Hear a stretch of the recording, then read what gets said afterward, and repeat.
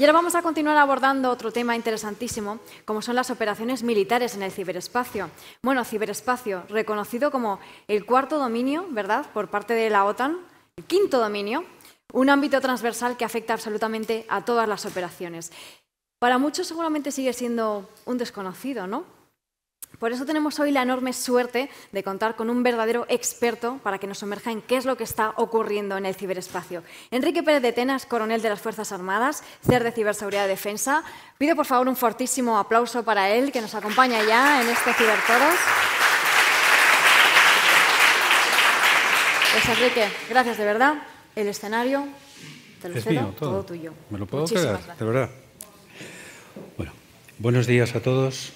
Primero, dar las gracias a Isaca Madrid por haberme invitado y que les pueda contar un poco la película de lo que hacemos en las Fuerzas Armadas en este quinto dominio.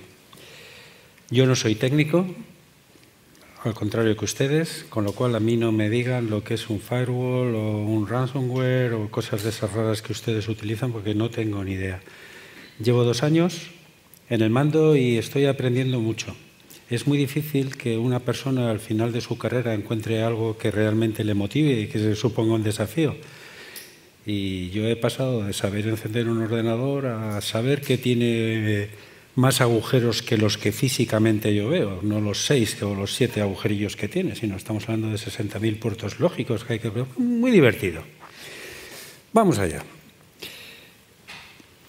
Esto es lo que se supone que les tengo que contar otra cosa es lo que yo les diga y lo que yo les vaya explicando. Hemos hablado del quinto dominio. Voy a hacer un poco de historia. En las Fuerzas Armadas, hasta hace unos pocos años, el ejército de tierra, la Armada y el ejército del aire hacían la guerra por su cuenta. Desde hace unos 15 años aproximadamente, 20, eso es ya inconcebible. Ahora cualquier operación militar exige que los tres servicios estén juntos, estén de la mano.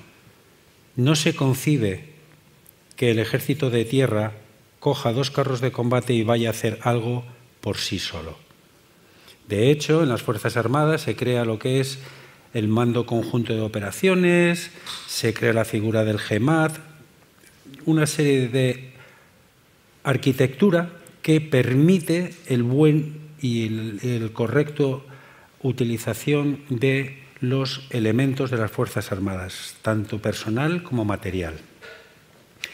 Entonces, llevamos unos años en los que ya estamos acostumbrándonos a ver uniformes de los tres colores en cualquier operación militar. Y cuando ya estamos empezando a hablar el idioma conjunto, va la OTAN y dice que el ciberespacio es el quinto dominio de las operaciones militares. Y ahí estamos. ¿Somos necesarios? ¿Somos no necesarios? Al principio aquello era, nada, estos son unos frikis que vienen aquí, estos ni idea, estos no valen para nada. Pero si miras un momento hacia atrás y miras un poco las tripas de los sistemas de combate de todas las plataformas que utilizamos los militares, descubres que a día de hoy no tienen nada que ver como cuando yo me alisté en la Armada, que los equipos eran a válvulas. Alguno puede que sepa lo que es una válvula. ¿eh? Entonces, no tienen nada que ver. Todos los sistemas de combate a día de hoy tienen unos y ceros. Todos los sistemas de comunicación tienen unos y ceros. Entonces, es evidente que el ciberespacio está presente y tiene que haber alguien que de alguna manera armonice y permita que eso funcione. Ahí aparecemos nosotros. A día de hoy, las operaciones ya no se llaman conjuntas, se llaman multidominio. Es otra palabra fancy, pero vamos, básicamente lo que significa es que desde el minuto cero, en la fase anterior al planeamiento de una operación militar, el mando está ahí. Me voy a, como ustedes tienen bastantes más conocimientos que yo, yo, si digo alguna tontería, por favor, corríjanme. Me voy a pasar ahora a la parte de la comunicación. Si yo les enseño esta fotografía y soy un periodista, debajo podré poner la narrativa que me apetezca. Podré decir, estos son unos disturbios civiles porque están protestando por el precio de la leche, o esto es consecuencia del malestar social que hay en toda la nación, consecuencia del mal gobierno que tenemos, o lo que se me ocurra. Y esto es una fotografía real, no está trucada. Ahora les voy a enseñar cómo está hecha la fotografía. Mi pregunta es, con las nuevas herramientas que está viendo en el ciberespacio, inteligencia artificial, ¿qué no puedo manipular? Saben ya por dónde voy, ¿no? Eso es uno de los grandes retos que en el mando conjunto del ciberespacio tenemos. ¿Qué es real? ¿En qué puedo confiar? Mi respuesta es, a día de hoy, solo en lo que vea con mis ojos, lo que oiga con mis oídos y esté presente, y con ciertas dudas. No lo que me cuenten terceros, no lo que vea en las redes, no lo que vea en Internet. Con esas premisas, continuamos avanzando. ¿Por qué Internet, por qué el ciberespacio es importante en las operaciones militares en concreto? Ya no voy a hablar de lo esencial que es en nuestra vida cotidiana como civiles. Quiero que miren, por favor, estas dos fotografías. En la que es más grande, estamos hablando de unas medidas de unos 300 metros por 300 metros. Caben unos cuantos campos de fútbol. ¿Me pueden decir qué es lo que están viendo aquí, por favor? ¿Alguien? ¿Qué ven? ¿O qué creen que están viendo? Es una fotografía real de hace aproximadamente tres meses durante la guerra de Ucrania. ¿No? ¿Nadie? ¿Ningún valiente? ¿Impactos? Bien, efectivamente. Esto es un ataque de la artillería rusa donde creían que había unidades ucranianas.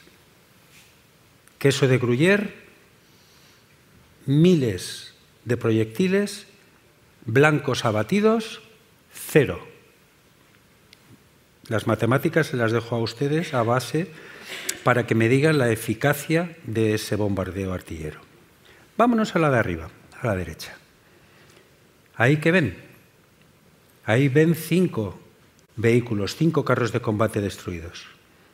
Los ucranianos dispararon seis proyectiles a donde sabían que estaban los vehículos soviéticos. Eficacia, seis disparos, cinco blancos. Compare.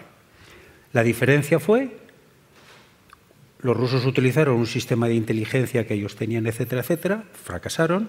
Los ucranianos, utilizando Google Maps y otro par de apps civiles, sabían exactamente dónde estaban. Para eso sirve el ciberespacio. Yo creo que ejemplo más evidente no se lo voy a poder poner. Ya no estamos hablando de asegurar las comunicaciones, asegurar los sistemas de combate. Estamos del uso cotidiano, simple y llanamente. Esto lo hicieron con esas redes satélites que un millonario estadounidense ha puesto al servicio de los ucranianos. Saben de quién hablo, ¿no? Bien, estas características, aunque deben ser sabidas por todos, tengo que perder un minuto para explicárselas, que probablemente lo sepan todos. He oído en discusiones muy sesudas de gente que dice que entiende lo que es el ciberespacio, hablar de conceptos como el ciberespacio español o el ciberespacio ruso o el ciberespacio militar o el ciberespacio civil. Error. Es un único campo de juego donde cualquiera que tenga un dispositivo capaz de conectarse a Internet puede ser un amigo, un aliado o un potencial enemigo. No hay fronteras, hay un único ciberespacio para todo el mundo, accesible a cualquiera que esté conectado. Se dice que las armas y las técnicas son específicas. Error. O el señor feudal, cuando estaba en su castillo y quería conquistar el castillo de al lado, no intentaba comprar al servidor que le abriese la puerta o contactar con el constructor para preguntarle por dónde la muralla es más débil o cuál es el punto más fácil para poder penetrar con mis tropas. Buscaban la vulnerabilidad. A día de hoy, con unos y ceros, buscamos las vulnerabilidades de un sistema informático para entrar. Es lo mismo. Antes eran ballestas, piezas de artillería, hoy son unos y ceros. Pero es lo mismo, no hemos inventado la rueda. No hay control armamentístico.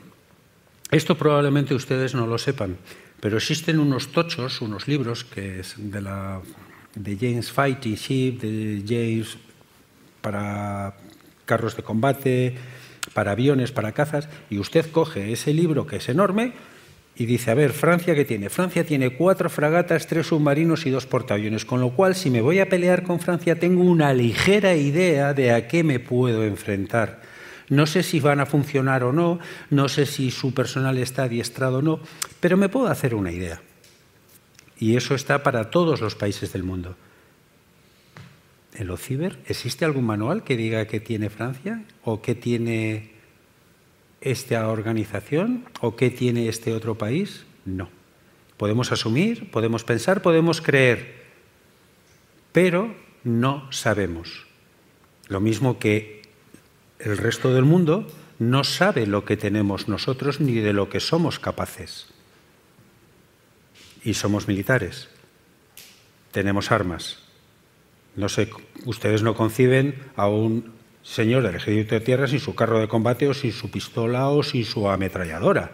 O un piloto de caza sin sus misiles y sus bombas. Bueno, nosotros tenemos ciberarmas. La respuesta es sí, sí las tenemos.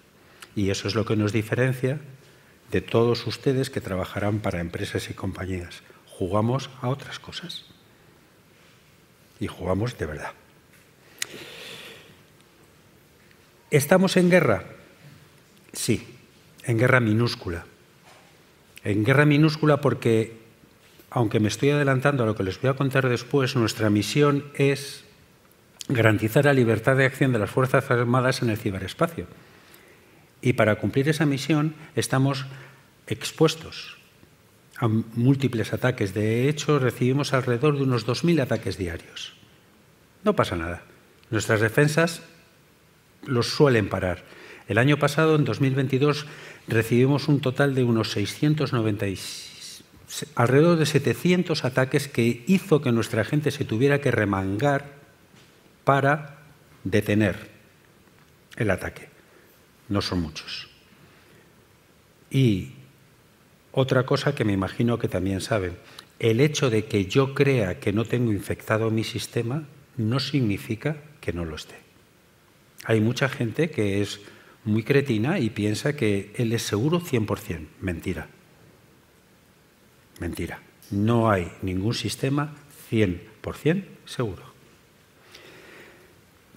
¿Cuál es el tipo de ataques que sufrimos? Son todos aquellos que intentan desestabilizar, acceder a nuestros sistemas, pero no empleando las armas convencionales, sino están empleando tácticas híbridas, habrán oído hablar de la palabra guerra híbrida, que son todas esas actuaciones fuera de lo convencional. O sea, Francia no va a venir con un carro de combate y va a atravesar los Pirineos, va a hacer otras cosas en el ciberespacio que me van a incomodar, pero no lo suficiente como para que España le diga, Francia, te declaro la guerra.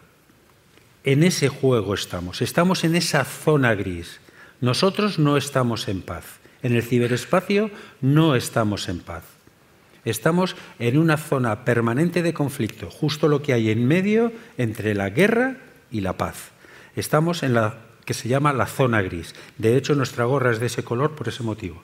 No es porque sea un color maravilloso que a mí particularmente me horripila, pero es lo que tenemos. Lo que les he dicho, nosotros somos los garantes de la libertad de acción de las Fuerzas Armadas en el ciberespacio. Allá por el 2010 se dieron cuenta en las Fuerzas Armadas que estábamos en pelotas en el ciberespacio. Más claro no lo puedo decir. Con lo cual, en el 2013 se crea el Mando Conjunto de Ciberdefensa, que no deja de ser un grupo de amigos que dicen, bueno, a ver, ¿qué es esto de los unos y los ceros? Había gente buena, evidentemente, y que sabía. Pero a los tres días de crear el Mando de Ciberdefensa, eh, la gente pensante se da cuenta que se queda cojo.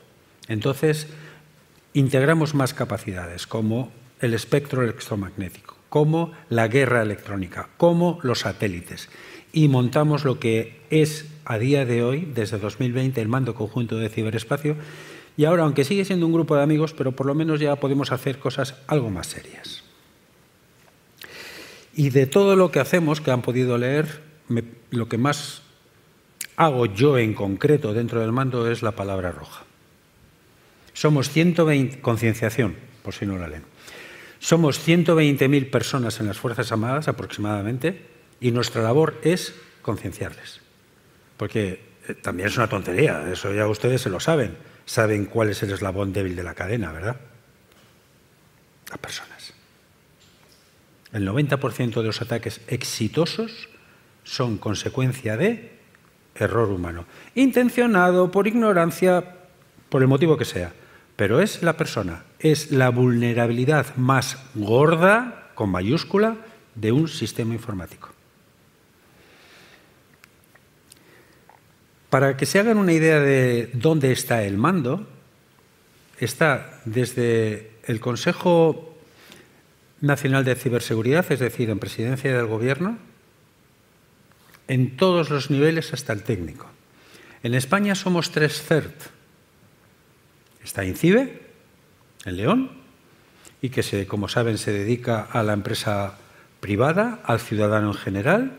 Está el CCN, los chicos del CNI, pero los que trabajan con unos y ceros, que se encargan de la administración pública en general. Y estamos nosotros. Y lo bueno que tiene es que bajo el mando del DSN nos repartimos el bacalao caso de que España recibiera un ciberataque serio, que afectase a las infraestructuras críticas, junto con la OCC y otros jugadores. Y de aquí, esto es horrible, no se ve, aquí hay una cosa que se llama Red Nacional de SOX, ahí abajo. ¿Por qué es buena esa iniciativa? Porque en un futuro no muy lejano, dentro de poco, vamos a tener interconectada toda la administración del Estado, en todas las capas, desde el Ayuntamiento de Vitibudiños de abajo hasta Presidencia del Gobierno. Y eso nos va a permitir intercambiar en tiempo real la información. Con lo cual, si Vitibudiños de abajo recibe un ataque, seremos capaces de identificar el paso 1, paso 2, paso 3, paso 4 de ese ataque todos lo sabremos y cuando el Ayuntamiento de Sevilla vea el paso 2, estará listo y los podrá parar antes del paso 3, del atacante, claro. Por eso este sistema es bueno y está intentando ser replicado por otros países de la Unión Europea. O sea que aquí en España las cosas no las hacemos tan mal como algunos piensan. Esto no se lo voy a contar, porque es que tenemos tres gorras, pero que somos los mismos. Pero vamos a esta. Vamos a esta transparencia. Porque, aunque yo no les voy a contar en detalle lo que hacemos, evidentemente, sí les voy a decir que nuestro trabajo, 24 horas al día, 7 días a la semana, es proteger las Fuerzas Armadas, pero en su trabajo diario. Si no lo saben, yo se lo digo. Hay unos 3.000 profesionales de las Fuerzas Armadas que estamos velando por la seguridad de nuestro país, diariamente, aparte de policía, Guardia Civil, y TSN y otra gente, pero militares diariamente, hay 3.000 personas que están permitiendo que nos podamos ir a tomar una cerveza tranquilos o dormir en casa tranquilos por las noches, que nadie nos va a tocar los pies ni nos va a despertar de madrugada que nos están invadiendo. Y además, bien bajo bandera de la ONU, de Unión Europea o de la OTAN, tenemos, me parece que a día de hoy son 16 misiones desplegadas por el resto del mundo. También les protegemos a ellos desde aquí. Y si no podemos, porque la conectividad es de aquella manera, tenemos COS desplegables que los material y personal que los llevamos donde ellos están desarrollando su misión y ahí les ayudamos. Eh, esto es lo que les he dicho. Bien, esto es el mando, el organigrama del mando. si se dan cuenta, es como el organigrama de otro ejército. Pero no somos el cuarto ejército. Somos conjuntos. Somos miembros de las Fuerzas Armadas de los tres ejércitos, más civiles. Y estamos organizados pues, con un jefe, un segundo y la fuerza. Es decir, los misiles, los torpedos, los carros de combate. Esto es. Todos trabajamos para que estos chicos hagan su trabajo y luego les diré qué trabajo hacen. Y luego tenemos una serie de jefaturas, las marrones, que son las de apoyo. Básicamente y en resumen, son los que diseñan, tunean herramientas que los chicos de la FOCE utilizan para su trabajo. Eso es en resumen. Y luego está ahí eso verde, que es el Estado Mayor, que es donde yo pertenezco, que intentamos poner un poco de orden en, en todo el mando. Ah, así, así. Y la nueva adquisición, la ENCO, la Escuela Militar de Ciberoperaciones. ¿Por qué? ¿Por qué surge eso? Esto lleva seis meses. ¿Por qué? Porque sois muy caras. Las empresas sois muy caras. Y yo llevarme a este chico a hacer el curso de, me lo invento, yo qué sé, de, Fortran, fijaros de el conocimiento informático mío, ¿eh? ¿vale? Pues me cuesta 50.000 pavos y no los tengo. Y es que este tío, su herramienta funciona con ese lenguaje informático, ese lenguaje de programación. No, no riáis, perdona. Yo estudié teleco antes de meterme en la mili ¿eh? y yo, el primer año, tenía que escribir, picar una cosa que eran unas tarjetitas, unos lectores, ir, si te habías equivocado, repite. O sea que hasta que yo hice el programa que me mandó el profesor, me suspendió, por supuesto. ¿eh? ¿De acuerdo? O sea, aquello era nada de ahora, para nada. Bien, que me enrollo. Entonces hemos creado esa escuela, ¿vale? ¿Para qué? Con el único fin de eh, adiestrar, formar a nuestra gente. De momento esa escuela es endogámica, es solo mío, mi tesoro. No aceptamos nada más. En el futuro ya veremos. Y cuando hay cosas que no sabemos, ahí sí tenemos que coger la cartera y pagar los billetes a la empresa que nos dé el curso específico en esta herramienta en particular. Bien, esto es lo que hacemos en el mando. Sobre defensa no les voy a contar. Además, dentro de defensa están cosas que me imagino que ustedes que pertenecen a ISACA pues sabrán auditorías. Hacemos auditorías, análisis forense, o sea, todas esas cosas están imbuidas ahí en defensa. ¿Vale? Y luego nos vamos a lo verde, explotación. Es que lo tengo que poner así, no me dejan poner la palabra, es inteligencia, adquisición de inteligencia. Pero entiendan qué tipo de inteligencia es la que a mí me interesa. A mí no me interesan las conversaciones, me lo estoy inventando, las conversaciones que en un grupo de WhatsApp se están llevando a cabo, que hay dos personas que están ahí dos identidades digitales que están ahí que no son del grupo pero que se han metido y que se han hecho muy amigos. A mí me da igual de lo que hablen. Cuando escucho, si veo algo que me interesa, me lo quedo. Si no, se lo doy a la Guardia Civil o a la Policía Nacional, que nos llevamos bien con ellos, para que ellos investiguen. A mí lo que me interesa es esos dos, esas dos identidades digitales, cómo se han metido en el grupo. Estoy poniendo el ejemplo de WhatsApp, imagínenselo a otros niveles.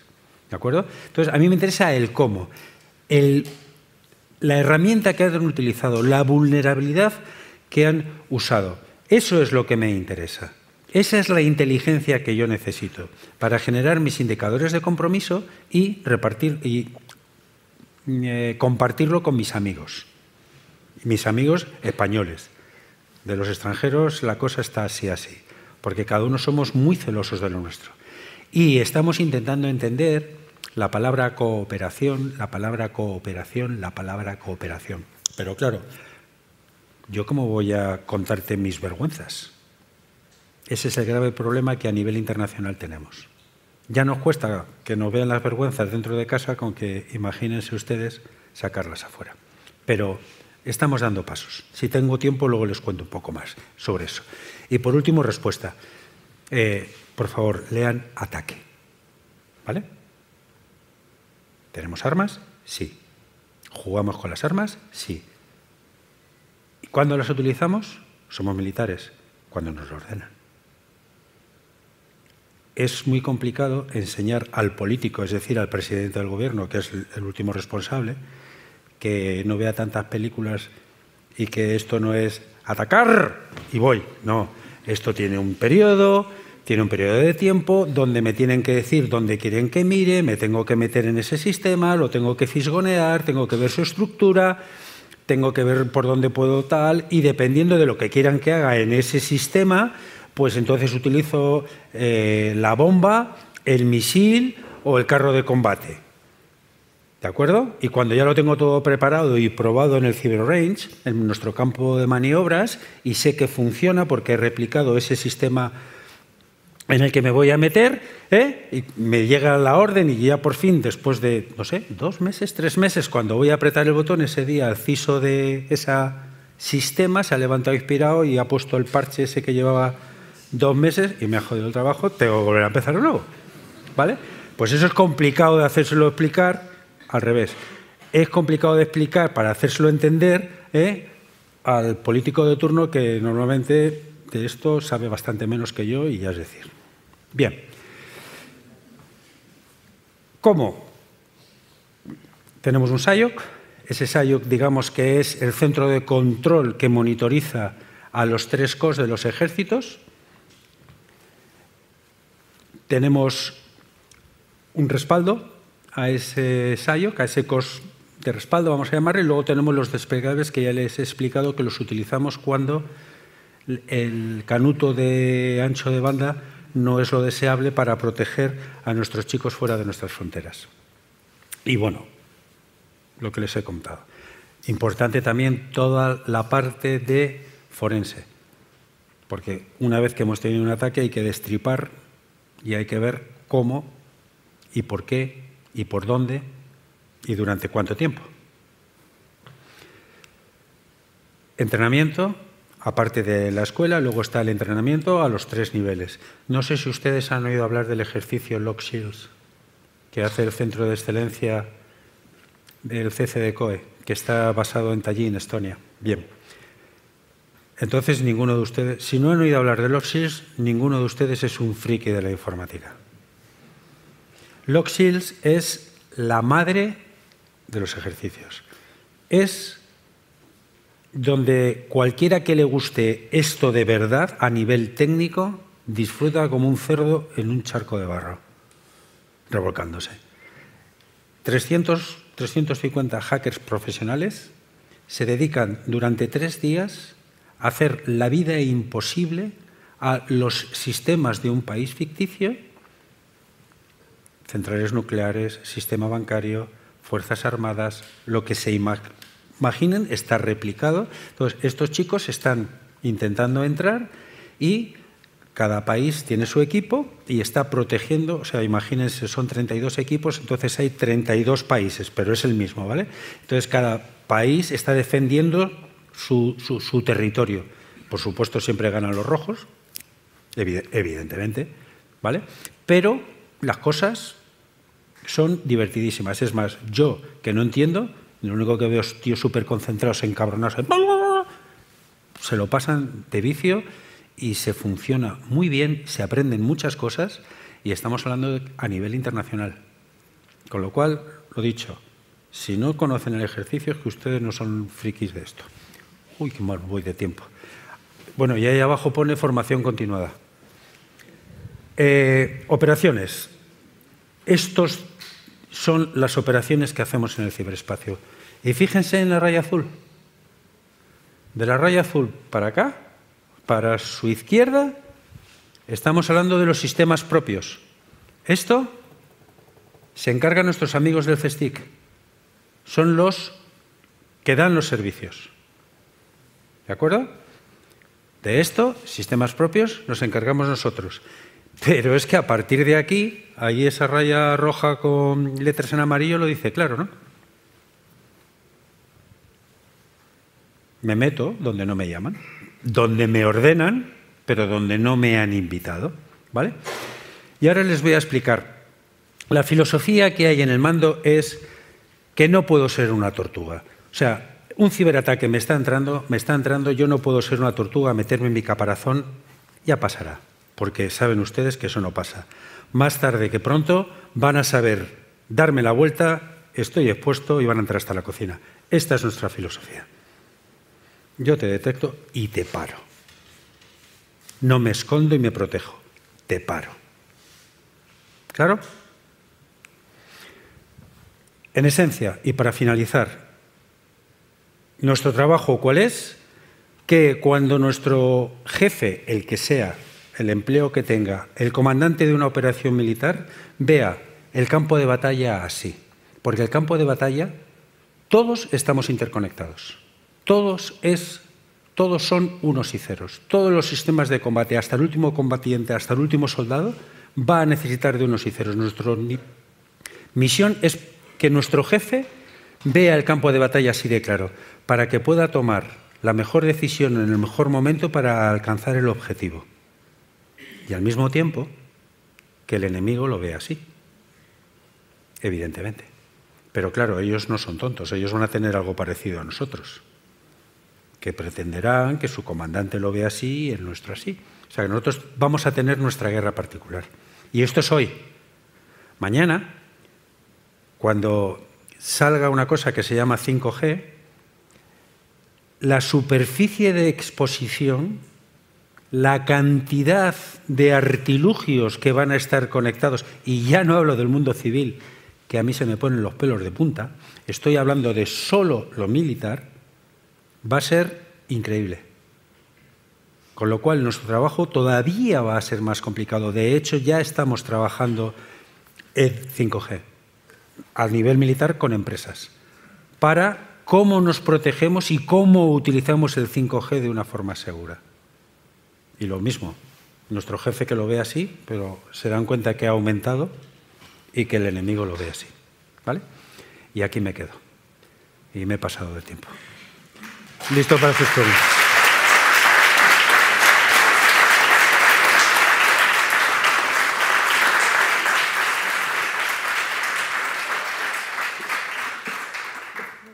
Gracias, gracias Enrique. Bueno, un, minuto, ¿eh? hay que decirlo.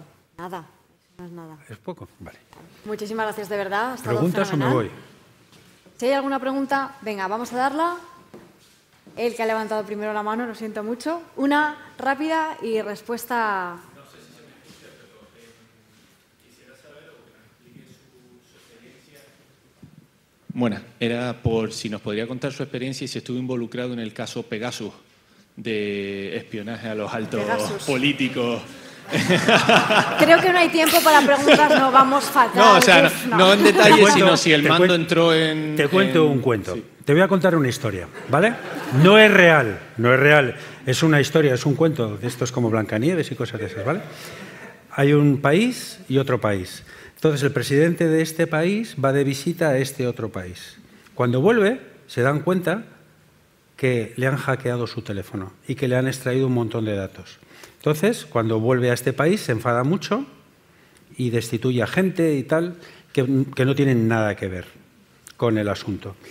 Entonces, eh, como la atribución de quién ha hecho el ataque es muy complicado, por no decir imposible, ¿eh? de llegar. Si soy bueno, llego hasta el teclado que lo ha hecho. Pero claro, el teclado lo ha toqueteado alguien salvo que el hacker sea tonto, que no lo es, la cámara va a estar oculta, no sé quién es. Vale, a lo que voy. Entonces, ¿qué se hace? Se hace lo que se dice atribución política. Con lo cual, el ministro de Asuntos Exteriores de este país, después de que el presidente, ese que estaba tan cabreado porque le han robado datos, nos dice dejar apagada la capital de este país 24 horas. ¿Podemos? Sí. 24 horas oscuras. Y el ministro de Asuntos Exteriores de este país llama a su colega y le dice, oye, que me entero que habéis tenido un apagón, joder, qué putada, lo siento mucho y tal. Por cierto, si no queréis volver a tener más apagones, dejar de tocarme los pies. Y cuelga besitos a los niños. Eso se llama atribución política y es una de las maneras en las que se le dice a tu potencial enemigo, no me toques los pies, que yo también sé tocar pies. ¿Vale? ¿He contestado a tu pregunta? Pero es un cuento, ¿eh? Muchas gracias. Gracias, de verdad.